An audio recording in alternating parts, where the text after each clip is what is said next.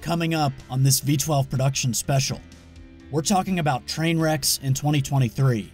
First, a look at where the investigation stands in East Palestine, Ohio, and the video investigators have gathered showing the final moments before the catastrophic derailment. Then, a dramatic police chase ends with a cop car in the wrong place at the wrong time. Plus, we'll look at the fake derailment that provides very realistic training for our first responders. And finally, is there a time when you'd want to intentionally derail a train car? All that and more is next on this V12 production special.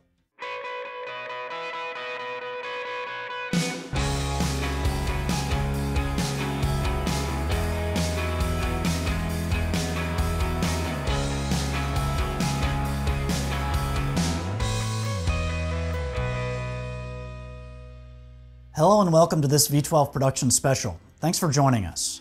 Today, we're talking about train accidents and derailments, from minor incidents to wrecks that will be remembered for many years to come.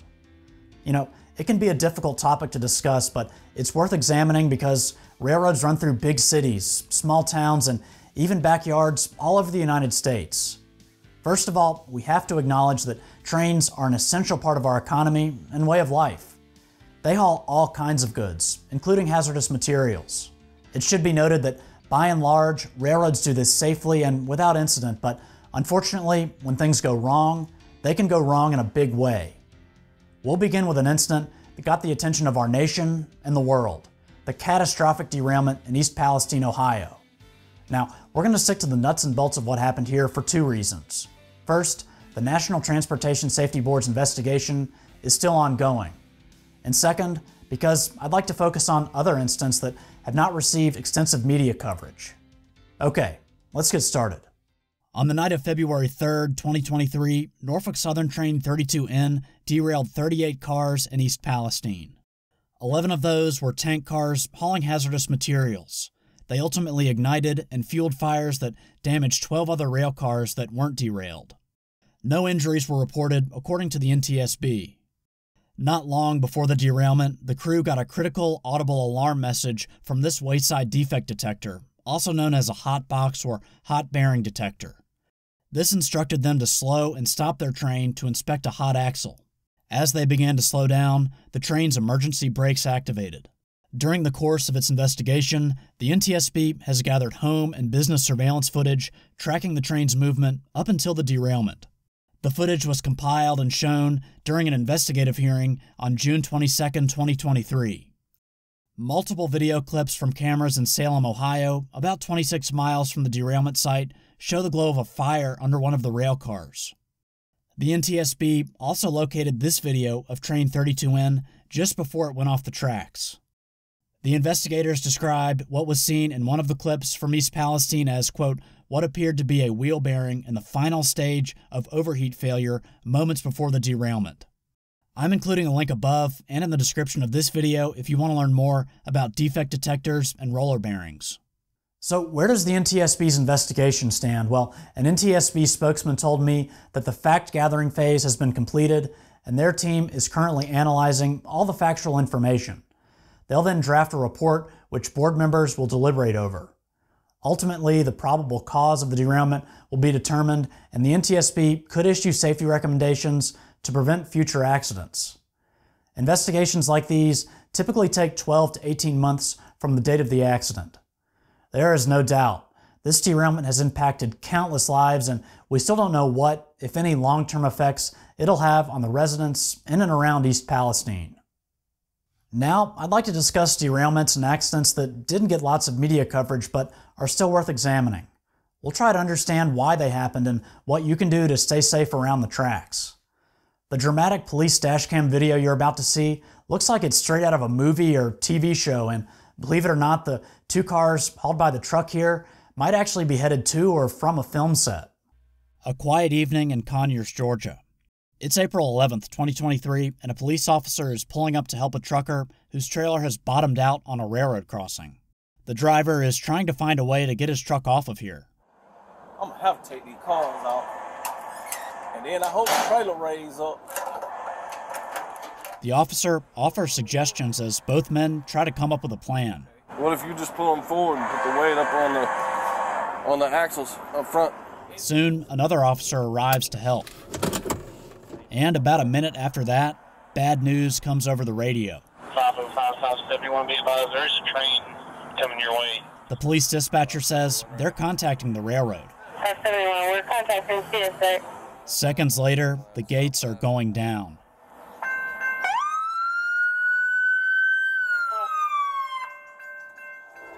Seventy-one, clear out of there. Luckily, everyone is clear of the truck by the time this happens.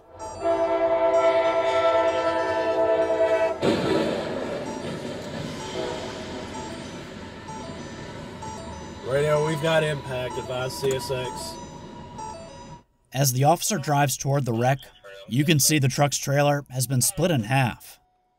One of the cars that was on it is sitting at the crossing, and the other is gone.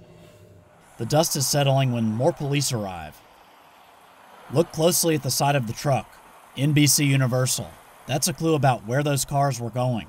Probably the set of a movie or TV show. This looks like a Chevy Nova from the early 1970s. It appears to be in one piece for the most part, but that wasn't the case for other things the train hit. No significant damage to the railway equipment. And don't worry, the train crew was okay too. But the police wanted to check something else after that impact. Well, contact the fire department we have hazardous materials on here. All this time, a convoy of film production trucks is passing the scene, headed toward downtown Conyers.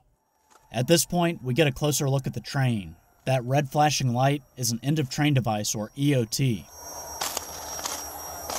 As the officer approaches the lead unit, CSX 6024, we can see where the other car went. This Mercedes is stuck to the front. I think this car is definitely totaled. But the locomotive fared a little better. Its front handrails are bent. And it appears its fuel cap is also missing. The cars behind the engines look like they're fine with no leaks. A few of them did have hazmat placards.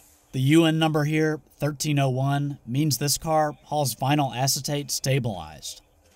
But I don't know if it was loaded or not.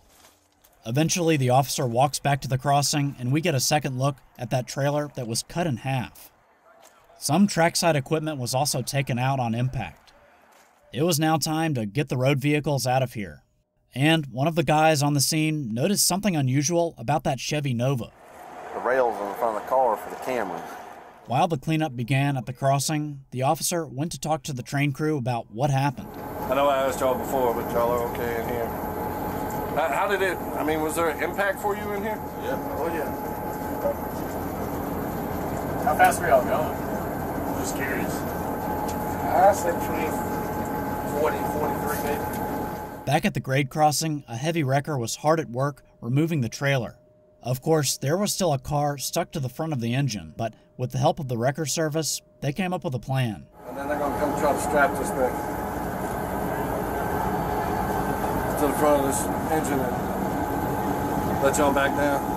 And just drag it back up there. Eventually, tow trucks came for that old Nova and the tractor. Then the train slowly emerged, dragging that Mercedes.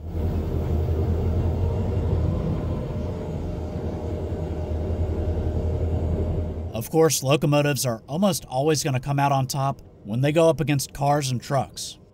There's no doubt, engines like 6024 are survivors. It's an EMD GP40 2 that was built in 1972. Now, with the train and wreckage out of the way, it's time for everyone to leave the scene. So, what does the crossing look like a month later? Well, as you might imagine, all the debris appears to be gone, and it looks like CSX replaced some of the trackside equipment that was here, including putting in a new gate arm. The tracks cross the road here at Scott Street, right next to downtown Conyers. The line goes from Atlanta to Augusta and was once part of the Georgia Railroad. You'll see they have not forgotten about that railroad here in Conyers. I also found this sticker left over from the predecessor to CSX. This old depot is now the town's welcome center. Driving through here, I think you can understand why a production company might want to use it for a filming location. Sadly, that Chevy and the Mercedes never made it to their shoot. The train that evening was headed southeast on this line when it slammed into the trailer. They stopped a little more than a thousand feet from the crossing, according to the crash report filed by the Conyers police. The train, L84111, started its journey about seven miles away in Lithonia. CSX has a small yard here. This locomotive, CSX 6532, was actually the trailing engine the night of the accident. The train was headed to Covington, Georgia. Now, you may be left with a few lingering questions like was anything hazardous spilled after the collision? Fortunately, according to the crash report, no hazmat was released. Another important thing to note on the crash report is that no citations were issued. Driving around this area, I never found any signs prohibiting trucks from going across this crossing. Hopefully, a situation like this never happens to any of us, but what if it does?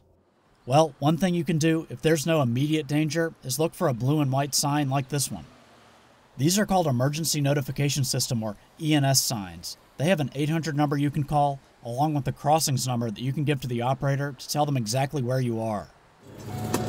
Now, I'm not going to second guess what anyone did in this situation. I would imagine it was pretty tense. Ultimately, no one got hurt, and that's all that matters. The vehicles in this next video are far from classics. No, they were brand new. Auto racks are on the ground just east of Williams, Arizona, and some of their cargo has come spilling out. These are just some of the 20 cars pulled by a BNSF train that derailed on June 8, 2023. According to Coconino County Emergency Management, there were no injuries. That agency also shot the video and pictures you're seeing. And how about this shot? A brand new Ford F 150 upside down and pinned under an auto rack. According to accident data as reported by railroads on the FRA's website, the cause of this was H503, buffing or slack action excessive train handling. A news story posted on azfamily.com referenced an FRA report that found the engineer did not use the brakes properly. However, while human error may be to blame, the FRA report referenced in the news story said the train that derailed was more than two times the size the engineer was qualified to operate. Next up, one of the wildest police chases I've seen recently. It actually involved a stolen police cruiser that ended up crashing in the wrong place at the wrong time. Norfolk Southern light engines are on the move in Peoplestown, here in Atlanta, Georgia.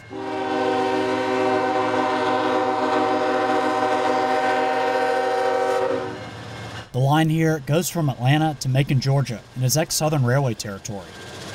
Once the locomotives pass, you can see car parts and black ballast near this crossing here at Hank Aaron Drive Southwest. It's hard to say if all these parts are from the same incident, but some are probably from this. Yeah, Atlanta police say one of their patrol cars was stolen, crashed, then hit by a train. But what led up to this bizarre incident? Well, it all started at the end of a traffic stop in the early morning hours of Saturday, January 28, 2023. This is APD Zone 4 in southwest Atlanta. The officer was wrapping up that traffic stop when someone took off in his car. Police say the guy who jumped into the cruiser was not involved in the traffic stop. Fortunately, the Atlanta Police Air Unit quickly found the car. Here it is, blue lights flashing, flying eastbound down Langford Parkway. Police say the ground units were following the stolen car at a safe distance. And not long after the chase began, the suspect lost control and the car overturned. But things were about to get worse. This was a hot rail. Yeah, a train was coming. The Atlanta police officers, with some help from Georgia State troopers, now had to get the guy out. Luckily, they were able to pull him to safety just before a southbound Norfolk Southern train collided with the police SUV. Police say the man was charged with theft by taking, fleeing and eluding, reckless driving, obstruction, and damage to city property. So, a suspect was in custody, a police car was wrecked, but everyone was all right. There is no doubt. Our police officers, firefighters, and EMS workers have to be ready to respond to emergencies on the railroad. Well, that's where this facility comes in. There's trouble on the tracks in Meridian, Mississippi. Two Amtrak coaches are lying in a ravine, and a locomotive has just struck a van. Meanwhile, a badly damaged tanker truck sits near the train. It looks like a disaster zone, but fortunately, this is all staged. And while the emergency isn't real, the training first responders receive here is. These are not mock ups. The locomotive and passenger coaches once traveled the country on America's rail network. They now reside here at the Meridian Public Safety Training Facility.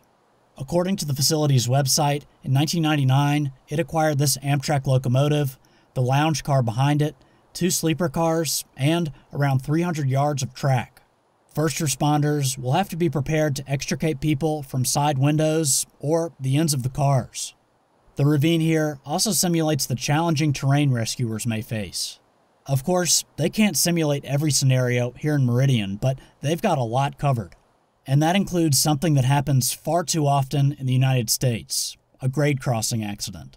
According to FRA statistics posted on Operation Lifesaver's website, there were more than 2,000 highway rail grade crossing collisions in 2022.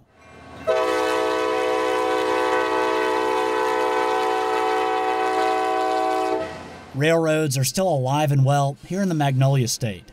Meridian hosts Amtrak's Crescent. It stops at the city's rebuilt Union Station. Norfolk Southern and CPKC trains also pass through here. As you can probably tell, freight is what you'll see the most of in Meridian. Now, companies like Norfolk Southern also train first responders for emergencies. This is the railroad's Operation Awareness and Response Train. The consist has special box cars where first responders can take classes. They can also get on top of and even go inside one of the tank cars, in addition to getting their hands on various fittings and valves. By now, you probably know that some trains haul hazardous materials. Back in Mississippi, what appear to be stand ins for tank cars sit next to the train. If you're like me, you're probably wondering about the history of the old Amtrak equipment at the training facility. Well, after a little internet research, here's what I found out. Amtrak 305 is an electromotive division F40PH which was built in 1979. And I believe the lounge car behind it is ex Pennsylvania Railroad. Meanwhile, this sleeper, the Pacific Beach, is ex Union Pacific. With all the vegetation around the other car, I wasn't able to get any information about it. All of these were built in the late 1940s and early 50s and were part of Amtrak's heritage fleet. Basically, cars that Amtrak acquired from other railroads when it took over passenger services in the U.S. Historic cars like these were eventually replaced by superliners, Amfleets, and Viewliners. While the train accident scene definitely caught my eye, this is not the only part of this facility. There are 99 acres here, and on the property, they have a three story burn tower, a staged structural collapse and rubble pile, a kennel for canines, a driving track, and firing ranges. These so called Katrina cottages provide lodging for visiting first responders. You know, getting hands on with rail equipment like this would certainly be memorable, but hopefully, responding to a real passenger train derailment is something the students here will never have to do. I would hope the firefighters who responded to this derailment and blaze had the training they needed to knock down the flames and get this situation under control. Tank cars on the ground, and the aftermath of a fire. This was the scene at CSX's Howell's Yard in Atlanta, Georgia on November 17, 2023. Now, what's a little unusual about this incident is that two railroads were involved. According to a CSX press release, around 6:28 a.m., a Norfolk Southern train came into contact with a CSX train at an interchange point here in the yard, resulting in a derailment. A locomotive also caught on fire after this happened. You can see all around the lead locomotive it looks like it just snowed. Well, that white substance on the ground is what was used to contain the blaze. Fortunately, no one was hurt and there was no risk to the public. CSX said an unknown amount of diesel fuel spilled, along with some plastic pellets. A Norfolk Southern spokesman told me they're working with CSX to investigate what happened.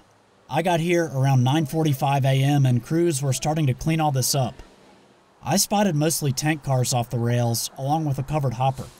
A gondola back here may have also been on the ground. In this shot, you can see what looks like a vacuum truck helping with the cleanup efforts. Not long after I arrived, the cavalry rolled in. Yeah, I'm talking about RJ Corman, the derailment cleanup experts with their side boom tractors. Of course, this was a big story in Atlanta, and a news helicopter was briefly overhead. Meanwhile, down here, yard operations continued. This happened at the north end of the yard, far from the main line. So, why exactly would a Norfolk Southern train be here on CSX property at Howell's Yard? Well, it's actually very common. NS interchanges with CSX here. They'll bring a cut of rail cars from their system up here and take back whatever CSX has waiting for them. The two railroads intersect and are also connected here at Howell Y. At the scene, you can see two CSX locomotives, 1702 and 1704. Both are rebuilt EMDs, now designated as SD40 E3s. It appears 1702 lost its handrails on the right side of the engine. These units can be remotely operated with one operator outside of the cab using a belt pack similar to this. Okay, we don't have an official cause of all this yet, but I'll be looking out for one. The derailment we're looking at next shows that Mother Nature is one of the few things that can actually stop a train. Lots of twisted metal and mud. That's probably the best way to describe this Norfolk Southern derailment scene in Jasper, Alabama. This happened on the night of April 8, 2023, and I recorded this footage a week later on April 15th. According to the Jasper Police Department, the train crew was briefly trapped in the engine room after the locomotive tilted over. Units like these don't really have engine rooms, but it's probably safe to say the railroad employees were trapped here in the cab. There's no question, this locomotive took a beating. The right side of it is caked in mud, the handrails are bent, and it looks like one of its windshields is missing. But the left side fared a little better. And by the way, even though this is a Norfolk Southern right of way, it's not uncommon to see locomotives from a variety of companies operating on rail lines around the US and Canada. So called foreign power or run through power is often put on a train on its home rails and used up until and even after it reaches its destination in another railroad's territory. While crews may be swapped, locomotives aren't changed out just because, for example, the train goes from Union Pacific to Norfolk Southern rails. Despite the damage to this Union Pacific GE AC44 CW CTE, the Jasper Police Department said there were no major injuries. Let's just hope everyone is doing okay now. Furthermore, the police said the Jasper Fire Department called all personnel in to manage the scene and help get the railroaders out of the engine. According to the Jasper PD, Norfolk Southern personnel said no hazardous materials were involved or released into the area. In this wet and muddy field, there were hoppers, covered hoppers, boxcars, and tank cars. But it appears this covered hopper on the right in the shade isn't covered anymore. In total, I counted 11 rail cars on the ground here. Their wheels and trucks had been gathered up and put in a pile. Now, this part of Alabama saw a lot of rainfall the weekend this happened, and washouts do occur from time to time on railroads. Okay, let me give you an idea of where we are. Jasper, Alabama is about 40 miles northwest of Birmingham. The line in Jasper goes from Birmingham, Alabama to Memphis, Tennessee, and is part of Norfolk Southern's Gulf Division. Something interesting about Jasper is that the NS line is actually crossed by Burlington Northern Santa Fe here at this diamond.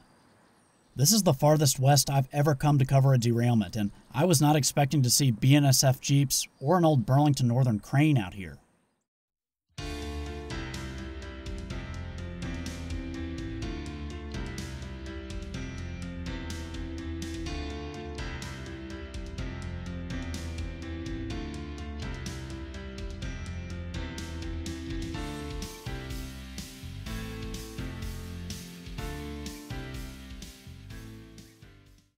At the time I'm recording this special, this next derailment is still part of an ongoing NTSB investigation. Amtrak 19, the southbound Crescent, is approaching its next station stop in Anniston, Alabama. Under its wheels, new rails and fresh ballast. But off to the side of the right of way, wreckage from a recent Norfolk Southern derailment. These cars came off the tracks here in Iron City on Thursday, March 9th, 2023, and the photos are courtesy of the Calhoun County Sheriff's Office. According to the NTSB, which is now investigating, NS Train 245A 109 derailed two locomotives and 37 rail cars. This included three empty tank cars with residue of hazardous materials, but they did not release anything, according to the NTSB. I should mention the train actually derailed in two places, and the scene you see here was closest to the head end of the train. Fortunately, no injuries were reported. Norfolk Southern estimated damages to signal infrastructure, equipment, and track to be around $2.9 million. Now, the train in question here had six locomotives and 108 rail cars. And I found two of those locomotives near the Anniston Amtrak station. These were not under power at the time of the derailment and were being transported as waybill locomotives. That basically means Norfolk Southern was being paid to move them somewhere, but I don't know what the final destination was for these two engines. The NTSB said these were picked up in Bluffton, Indiana on February 24, 2023. Both of these are old, rebuilt general purpose or GP locomotives manufactured by General Motors Electromotive Division in the mid 1950s.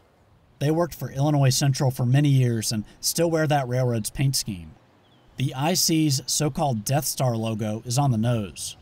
Now, I did my best to try to find the owner behind the RMEX reporting marks, but was unsuccessful. At first glance, these things seem to be in decent condition, but the NTSB's preliminary report pointed out a significant issue. According to the NTSB, quote, the waybill locomotives were not equipped with alignment control couplers, which resist lateral coupler movement under compressive in-train forces. NS Operating Rule L212 prohibits coupling together locomotives without alignment control couplers when those locomotives will be dead in tow. Okay, so dead in tow means the locomotive or locomotives will not be under power and used to pull the train. And lateral coupler movement means movement from side to side. Alright, here's exactly what NS Operating Rule L212 says. A. When the consist includes more than one locomotive that does not have alignment control draft gear, extreme caution must be exercised when applying locomotive or dynamic brake or handling the throttle in backup or shoving movements to prevent locomotives from jackknifing. B. Locomotives not equipped with alignment control draft gear when moving dead in tow in a locomotive consist or train must not be coupled to another locomotive that does not have alignment control draft gear. Exception this restriction does not apply to a light locomotive movement. This can all be found in NS1, Rules for Equipment Operation and Handling, effective January 1, 2019. The NTSB also found, quote, an NS inspection performed before the first movement involving the coupled waybill locomotives did not identify the absence of alignment control couplers. Furthermore, the NTSB noted that, quote, the waybill locomotives were moved by four trains before being added to train 245A109 on the day of the derailment. I tried my best to capture a few close up photos of the couplers on these units with my drone, but I honestly couldn't spot the difference between these and what you'd see on a more modern locomotive. I didn't get any footage of crews cleaning up the last derailment, but here's a look at some of the equipment used to get things back on track. It's September 24th, 2023, and there's been some kind of incident at Norfolk Southern's Inman Yard in Atlanta, Georgia, and a crew with RJ Corman is on its way to the scene. If you didn't know, they specialize in cleaning up train derailments. And to do this, they need special equipment. They use these side boom tractors that were originally designed for pipe laying. The tractors themselves travel on one trailer, while their booms ride on another. Whatever happened here today at Inman seemed to be pretty minor. Keep in mind that not every derailment is a major incident.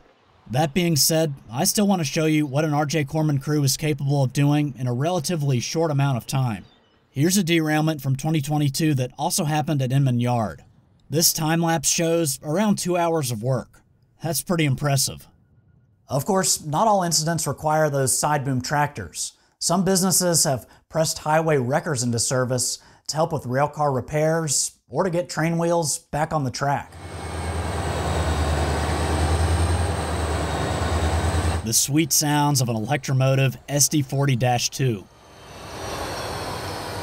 The SD stands for Special Duty, and today, this engine is assisting in a somewhat unconventional task.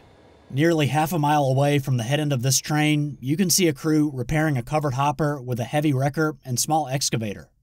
When I got the drone over this, it appeared that Wrecker was doing the lifting while the excavator stabilized the car. This piece of rolling stock weighs nearly 56,000 pounds when it's not loaded. The machines would soon be used to pull one of the trucks from under this covered hopper. These workers were called after an incident in Pendleton, South Carolina. Now, Pendleton is in the northwestern part of the state, not far from the border with Georgia. The incident happened on Thursday, June 22, 2023, and I was here the following morning. This is Norfolk Southern Territory. Several miles north, the tracks here branch off of the main line that goes to Greenville, South Carolina. One of the major railroad customers in Pendleton is a Michelin tire plant. You can see it in the distance. The rails that split off to the right lead to the plant. The covered hopper here usually carries carbon black, which is used in the tire manufacturing process, and it's really messy stuff. Most of what I saw was work being done on the car's truck and wheels. A center pin aligns the truck to the car. The men would eventually get everything secured under here so the car could move again. Pulling ahead about half car. Easy or what? No, just a regular half car swing. Now we've got everything rehooked and everything's back on the road.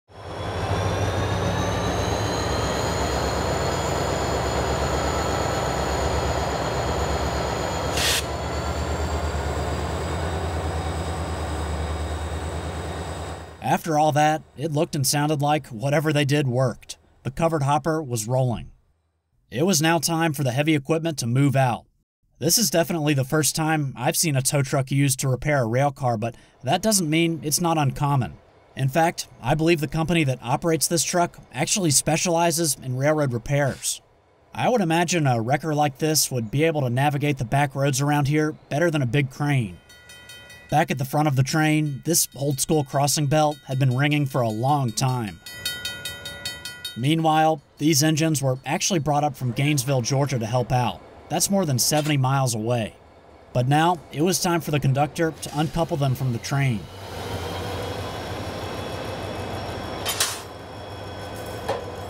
Another crew would take it from here. These guys were headed home. I wasn't able to find any further details about the incident I just showed you. It may not have met the monetary damage threshold required to file a report with the FRA. Of course, you saw that railroads haul messy stuff like carbon black for tire manufacturing, but you may not know that they also transport our nation's military equipment. Unfortunately, this move did not go according to plan. As a taxpayer, this is probably not something you want to see. Rail cars hauling pricey military equipment off the rails and on the ground. This happened in Colorado Springs, Colorado on October 9th, 2023, not far from Fort Carson. These photos are courtesy of the Stratmoor Hills Fire District. According to 4th Infantry Division Public Affairs Officer Lieutenant Colonel Joseph Payton, the train was headed back to Fort Carson from Fort Irwin in California. Fort Irwin is home to the National Training Center. It's unclear to me who owns the tracks here, but Colonel Payton said both Union Pacific and BNSF both responded to the scene after the derailment. He also said no soldiers or civilians were injured, and there were no weapons or hazardous materials on the train. Yes, Buffett 507 clear. Southern Tucker 3396 Now, it's pretty common to see military equipment transported by rail. I caught this train passing through Tucker, Georgia in September of 2023. This was hauling all kinds of vehicles, including what looked like armored military backhoes.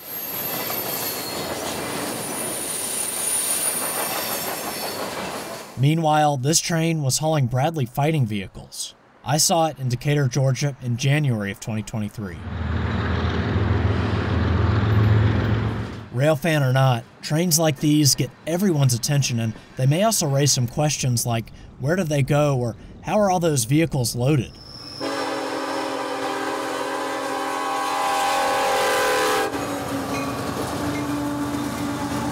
Well, trains like these may be headed to training exercises somewhere in the US. They could also be in transit from the factory to a military base. Other vehicles transported by rail could eventually be taken off the train and shipped overseas. And some trains carry supplies and munitions. Ultimately, railroads would be critical in mobilizing the country for war. They've been used by militaries around the world for well over 100 years. Some large military installations have railheads where equipment can be loaded and unloaded. And yeah, the U.S. Army and other branches of the military have their own locomotives. Ramps are typically used to load wheeled and tracked vehicles. wheeled vehicles can roll from car to car using special bridges. Tracked vehicles don't need these. Cranes may also be used to load equipment, along with large forklifts. Everything is then secured to the rail cars. This is kind of like the military's version of Amtrak's auto train, although they've been doing it a lot longer than Amtrak. Operations like this don't just happen stateside. Members of the U.S. Armed Forces also move their vehicles and supplies by rail in other countries. This video shows soldiers unloading empty rocket pods in Poland.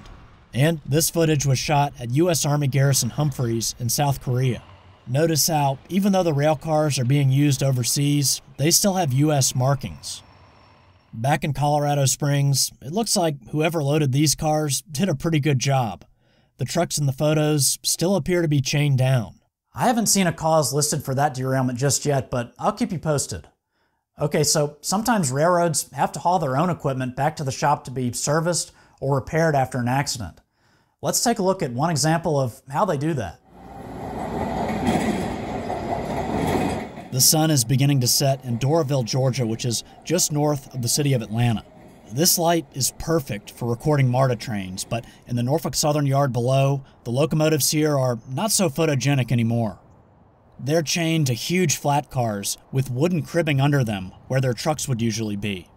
Now, to understand what happened to these units, we have to go back to the end of 2022 in Collegedale, Tennessee. The cause of this derailment was clear. The train with three locomotives up front rammed a tractor trailer hauling a huge 137 foot concrete bridge beam. It all happened on Tuesday, December 20th, 2022. This video, taken by a nearby driver, was widely circulated online. In my opinion, the footage is so dramatic, it likely caused this story and video to be picked up by national and even international news outlets. The Chattanooga Fire Department shared these pictures on its Facebook page. At the time they posted the images, they said personnel at the scene were working on stopping a diesel and lube oil leak, but no other hazardous materials were involved. Norfolk Southern would later report to the Federal Railroad Administration that approximately 2,000 gallons of diesel fuel spilled into the creek here. According to a January 11, 2023 press release issued by the Collegedale Police Department, the train crew was transported to the hospital with injuries. Hopefully, they're doing better now. These three engines sat in Tennessee for months before they ended up here in Georgia. I first spotted them at Norfolk Southern's Inman Yard in northwest Atlanta. The engines were there with some other high and wide loads. Their trucks were sitting on separate flat cars. I then found these locomotives again four days later here in Doraville. Oh, and if you're wondering why those buildings look a little out of place back there, well, that's because they're part of a movie studio that's being built. Okay, according to ns-9.com, the damaged engines sitting in the yard down here are headed to Altoona, Pennsylvania. That town is home to Norfolk Southern's Juniata Locomotive Shop. Here, locomotives are rebuilt, repaired, and overhauled. In fact, number 4067, which took a major beating, was one of many DC to AC conversions rebuilt at Juniata. Among other things, the unit got a new wide nose cab and AC traction motors. This facility was built by the Pennsylvania Railroad in the late 1800s. It then became a part of Penn Central and later Conrail before being taken over by Norfolk Southern. Big Blue, another name for Conrail, isn't all that colorful in these black and white images that were part of a historic American engineering record and are available on the Library of Congress's website. There's no telling when these three units will be back on the rails again. I don't know how badly they were damaged. But if anyone can get them going again, the folks in Altoona are probably up for the challenge. Believe it or not, there are times when you'd actually want to intentionally derail a locomotive or train car. Okay, so I can't tell you exactly how this car ended up on its side, but I have a feeling it's because this device did its job. This thing is simply called a derail, and I don't think that needs much explanation. Essentially, it stops cars from this industry track from fouling the main line.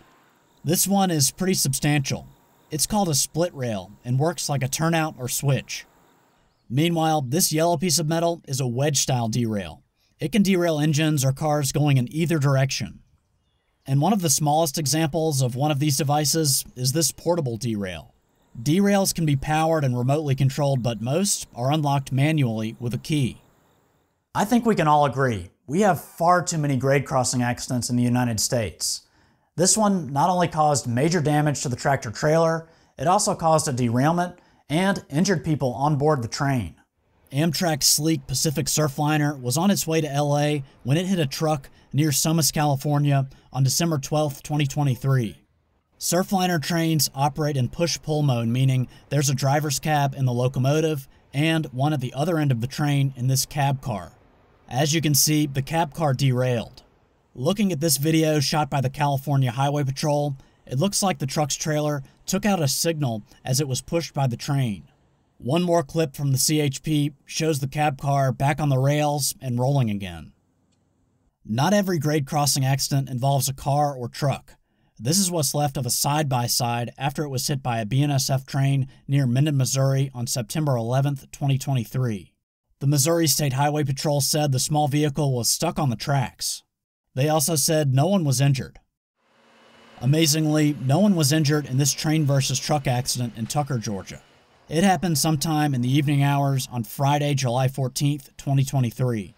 The truck wasn't actually on a railroad crossing when it was hit, but actually behind a bar and stuck on the tracks. The train, running on CSX's Abbeville subdivision, pushed the truck across this bridge before coming to a stop. After looking for any damage and talking to local authorities, the train crew would eventually continue their journey north.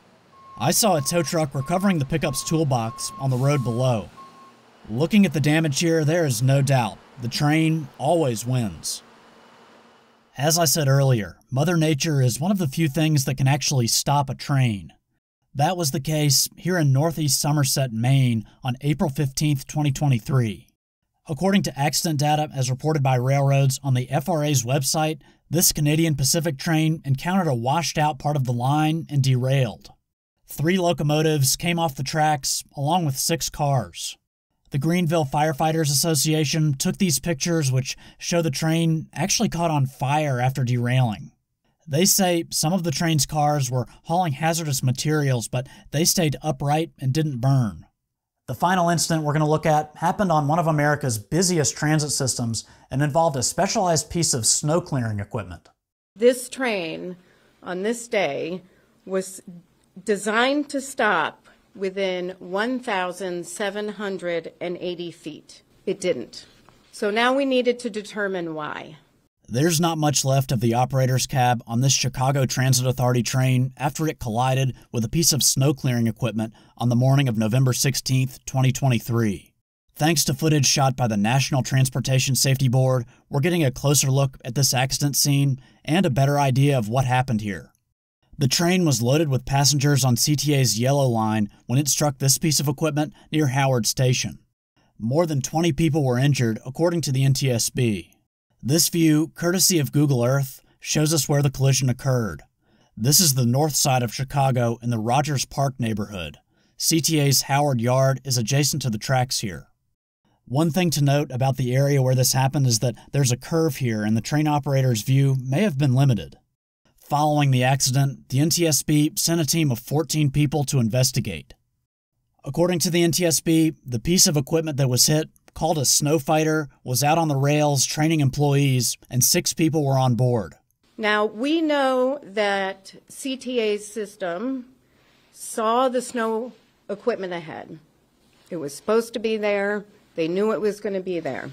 This machine is diesel powered and doesn't rely on the electrified third rail. NTSB Chair Jennifer Homendy said a preliminary review of the train event recorder data indicated the train hit the Snowfighter at 26.9 miles per hour. The transit cars involved are part of the 5000 series, which were built by Bombardier Transportation from 2009 through 2015, and they operate as married pairs. Now, the CTA has a system in place that's supposed to space trains out so they don't collide. This is absolutely critical on a high volume transit system where many trains share the same track. A following train should slow down and stop if it gets too close to another, but the parameters on Chicago's system may need to be examined according to the NTSB chair. The braking distance should have been longer. A brand new system today with the same track, they should have had 2,745 feet to stop that train, not 1,780 feet. That is a design problem. And why is it different today? Over time, cars get heavier, there are more passengers. We'll have to look at some changes that have been made to the system. That's essentially an old design. Homendy also said investigators so far have found nothing wrong with the signaling system and that the operator did slow the train, but something on the rails made that difficult. We know there was some residue. It was thick and black, uh, part of the track. We also know that the wheels were slipping when the operator was braking. This time of year, leaves can often cause trains to lose traction and interfere with braking. Okay, so just keep in mind, much of the information released by the NTSB so far is preliminary, as they're still in the early stages of their investigation. Despite the accident, Homendy says people should still feel comfortable riding Chicago's L. I would take the train tonight. Tomorrow, I have no concerns, safety concerns about taking the train. We've now reached the end of this special. Look, I understand that minor derailments are just a part of doing business in the railroad industry. Accidents happen from time to time, but the major incidents we've seen in 2023 should not be considered routine. Something needs to change in the U.S. Do we need upgraded infrastructure, more government oversight of the corporations that operate their mega sized trains through our towns? Perhaps companies need to hire more people to run those trains so no one feels overworked. And should there be a limit on just how long a train can be? It's not up to me to decide, but I think those questions are worth asking the CEOs in charge and our elected leaders. I know I wasn't able to cover every notable train derailment and accident from 2023, but I still hope you learned something after watching this. If you did, please share it with people who you know who might benefit from the information. As always, thanks for watching, and I'll see you next time.